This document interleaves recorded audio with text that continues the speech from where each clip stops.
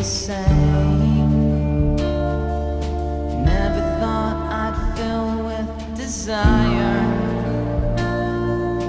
Never thought I'd feel so.